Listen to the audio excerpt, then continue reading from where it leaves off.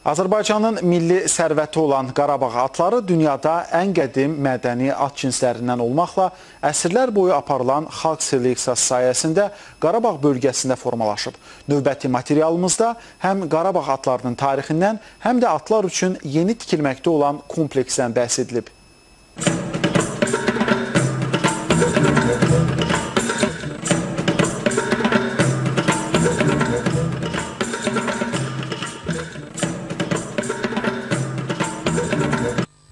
Qarabağ atları hal-hazırda Ağcabədi rayonunun inzibati ərazisində olan qışlaq yerində saxlanılır. Yaxınlıqda isə müasir tələblərə cavab verəcək yeni atçılıq kompleksi salınır.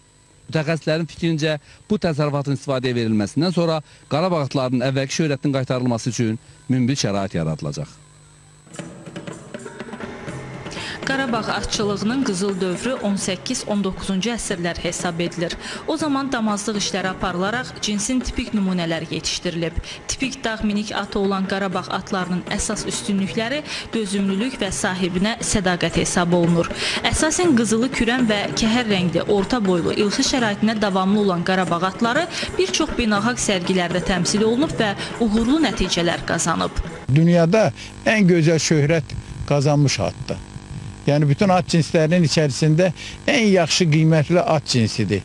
Onun bədən ölçüləri, onun rəngi, onun xasiyyəti, onun e, öz sahibi ilə davranışı bütün atların hamısından üstündür.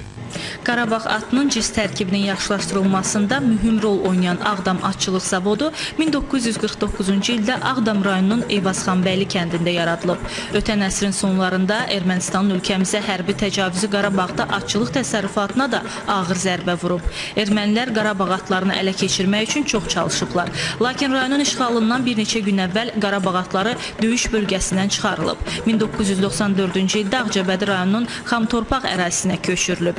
Çətinliklərə baxmayaraq Qarabağ atlarını bu günədək qoruyub saxlamaq mümkün olub. Hazırda Ağdam Atçılıq Zavodunda 250 baş at, o cümlədən 50 baş ana madyan və 5 baş ayğır saxlanılır. Son illər dövlətimiz tərəfindən Azərbaycan atlarının şan şöhrətinin özünə qaytarılması, ölkəmizdə atçılığın inkişafının təmin edilməsi üçün ciddi işlər görülür. 2007-ci ildə atçılıq haqqında Azərbaycan Respublikasının qanunu qəbul olunub. Bu qanunun tətbiqi ilə əlaqədar Prezident İlham Əliyev tərəfindən müvafiq fərman imzalanıb, atçılığın inkişafı üzrə proqram təsdiqlənib.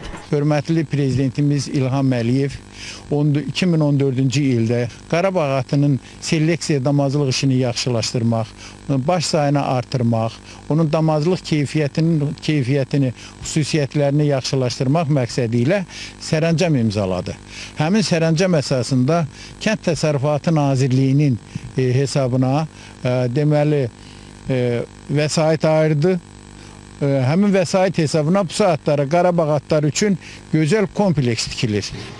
Qeyd edək ki, 34 hektar ərazini əhatə edəcək kompleksdə nəzarət buraxılış binası, inzibati bina, konfrans salonu, tövlələr, atların gəzinti meydançası, açıq və qapalı manejlər, qaçış zolaqları, məşq qurğusu, klinika, süni mayalanma laboratoriyası, nalbənd və sərrac emalatxanası, su, yem, təsərrüfat və gübrə anbarları, avtopark, işçilərin yaşayış yeri və sair inşa edilir.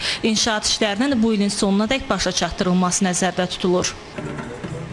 Aysel Rızaxanlı, Şöhrət Eyvazov, Üsal Quliyev, Ağcabədi, Carçı.